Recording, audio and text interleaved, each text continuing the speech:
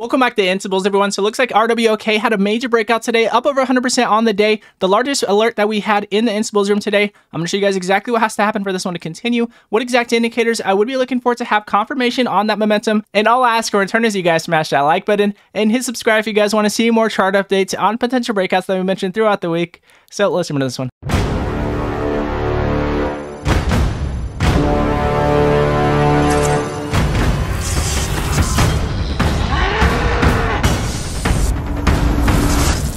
So I'm to go to the five minute with you guys here on RWLK. Amazing breakout throughout the day. I'm to show you guys what has to happen for this one to continue. But before we get started, I want to mention that we do alert penny stock and breakout alerts throughout the day. We mentioned CRVS this morning testing $7, jumping all up to $9.50 on the day, up over 30% on that breakout. And we mentioned RWLK at $1.70, jumping all up to $2.50 on the day, up over 50% on that breakout. And an unexpected breakout that we saw today was MRN going to extended hours, jumping all the way up from $7 all the way up to $10.40 going to extended hours, up over 40% on that breakout. So if you guys want to see more breakout alerts throughout the day, go to instabulls.com in the description below, and you guys will never miss a breakout alert throughout the day again. So as you guys can see here on RWLK, we had that continuation on up since our alert that we mentioned at 170. Looking to see if we can continue past that. We had that decrease in buy pressure midday. We did have that increase in buy pressure towards in the middle of the day, had that continuation on up. Looking to see if we can continue. As you guys can see, we had that decrease in buy pressure overall, not showing us a ton of strength, showing us that we were going to possibly have a weaker push from there. And again, the market was selling off at that point in time. We had that continuation on down,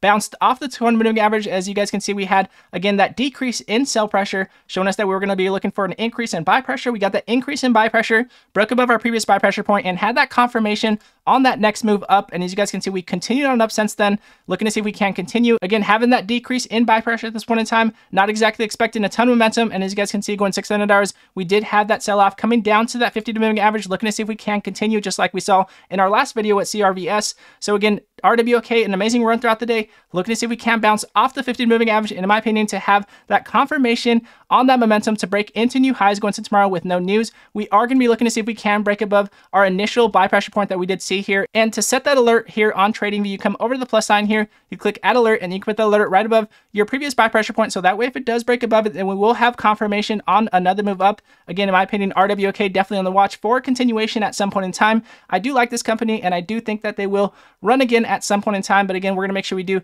make sure we do play into momentum correctly. Tomorrow, a Fed meeting, the market pretty choppy throughout the day. So again, not exactly expecting another move up, but we'll keep on the watch and we'll have these alerts set on these buy pressure points. So that way, if it does break out, we will be alerting this one in the InstaBulls room.